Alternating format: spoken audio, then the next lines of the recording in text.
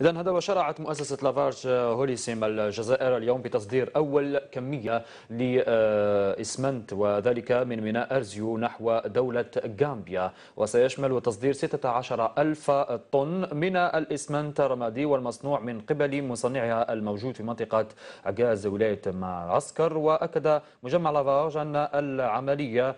آه، تثبت عزمها أو تثبت عزمها لتحقيق التطور الاقتصادي والاجتماعي وخاصة تنويع مداخيل الجزائر خارج المحروقات